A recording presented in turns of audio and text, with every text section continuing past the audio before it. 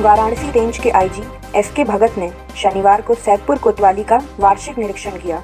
इस दौरान विभिन्न व्यवस्थाओं को देखा। कोतवाली परिसर में साफ़ सफ़ाई के साथ अन्य आवश्यक दिशा निर्देश भी दिए। आईजी भगत ने सीसीटीएनएस, महिला हेल्प डेस्क, कार्यालय, मेस, बैरक तथा थाने पर हो रहे निर्माण कार्यों का निरीक्षण करते हुए संबंधितों से पूछताछ कर जानकारी ली।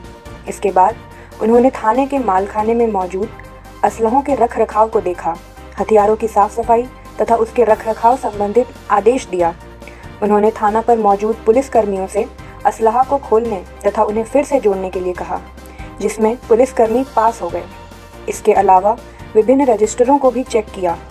थाने पर हो रहे निर्माण कार्यों का बारीकी से निरीक्षण करते कार्य की गुणवत्ता को परखा।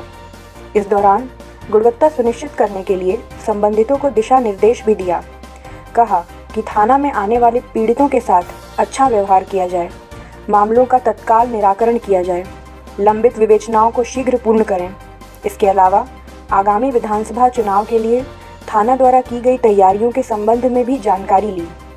कहा कि चुनाव के मद्देनज़र लगातार क्षेत्र में भ्रमणशील रहें, अपराधियों के साथ सख्ती से पेश आए। यदि किसी के द्वारा कहीं घटना की सूचना मिलती है तो तत्काल मौके पर पहुँचे। इस मौके पर पुलिस अधीक्षक रामबदन सिंह के साथ ही अन्य पुलिस अधिकारी और कर्मी मौजूद रहे ऐसी ही और भी खबरों के लिए हमारे YouTube चैनल को सब्सक्राइब करें और बेल आइकन को ज़रूर दबाएँ।